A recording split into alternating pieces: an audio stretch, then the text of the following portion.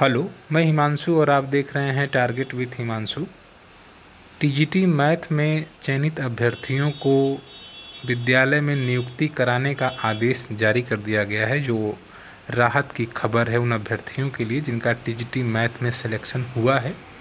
इस पत्र के ज़रिए आप ये समझ सकते हैं, जो उप सचिव के द्वारा समस्त जिला विद्यालय निरीक्षक को भेजा गया है। हर ज़िले में भेजा गया है और विज्ञापन संख्या एक 2018 के अंतर्गत प्रशिक्षित स्नातक जो गणित वर्ग के अभ्यर्थी हैं, उनको अलॉटमेंट से संबंधित यह आदेश है। इसमें यह कहा गया है कि अनुपालन करते हुए चयनित अभ्यर्थियों को आवंटित संस्था में कार्यभार ग्रहण कराना सुनिश्चित करें। तो इस लॉकडाउन के दौरान जहाँ एक और उनहत्तर हज़ार शिक्षक भर्ती प्रक्रिया पूरी तरह से रुक सी गई है, वहीं दूसरी ओर टीजीटी मैथ के अभ्यर्थियों का सिलेक्शन हो रहा है और उन्हें नियुक्ति दी जा रही है। तो खासकर उन अभ्यर्थियों के लिए अच्छी बात है, जिनका इसमें सिलेक्शन हुआ है।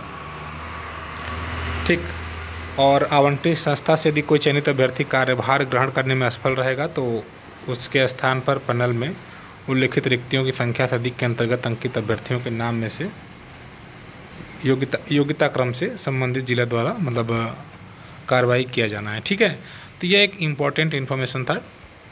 कुछ अभ्यर्थियों के लिए, ठीक है?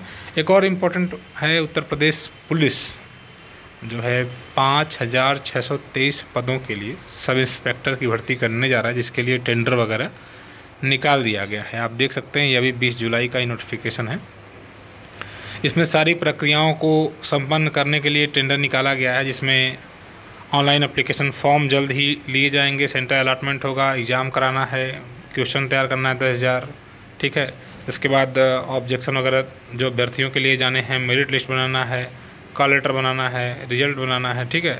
तो सारी की सारी प्रक्रिया प्रक्रियाओं को संपन्न करने के लिए अब जल्द ही टेंडर के बाद चूँकि जब कार्य संपन्न हो जाएगा तो फिर विज्ञापन वगैरह आने के, आने की उम्मीद है, ठीक है? पुलिस वगैरह एक ऐसा डिपार्टमेंट है जहाँ पर वैकेंसी आने की ज़्यादा संभावना रहती है, क्योंकि सरकार को इनकी ज़्यादा ज़रूरत रहती है।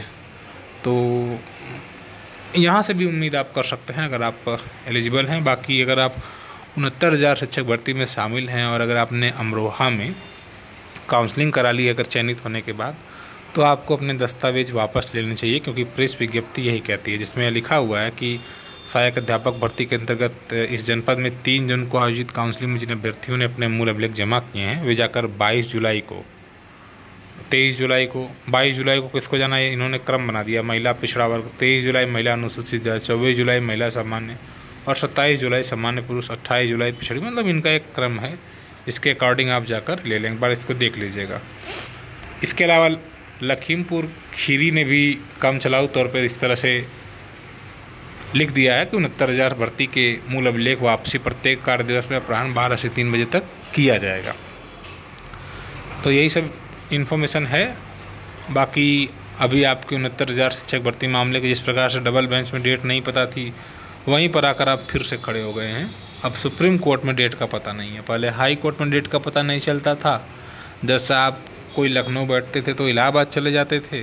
और अब तो जैसा आप बैठ भी रहे हैं, लेकिन अब आपका केस ही नहीं लिस्ट हो रहा है। इस हफ़्ते सिर्फ़ चौबीस की उम्मीद है और कोई उम्मीद नहीं है। ठीक है?